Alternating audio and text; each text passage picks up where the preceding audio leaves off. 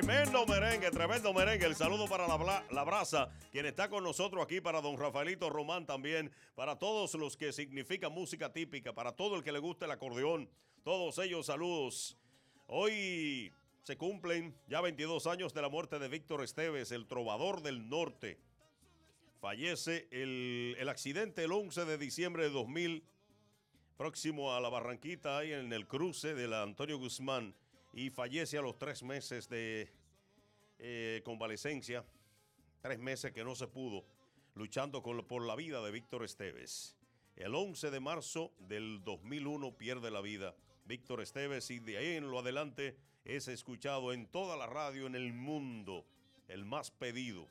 Bachata bellísima, un chimba arriba, flaco ahí. Culpable de mi sentimiento, me hiere el sufrimiento, Vámonos, vámonos. Vamos allá, vamos a seguir, señores. Déjalo ahí, flaco. Vamos a seguir. Yo quiero enviarle saludos a los muchachos de los Cocos de Jacagua que me envían ahí un litín, pero no puedo mandarlo. A los muchachos de Valhalla Food Park en la Presidente Antonio Guzmán en San Francisco de Macorís. A todos ellos, saludos. A Agustín, mi amigo, allá en la ciudad de Nueva York.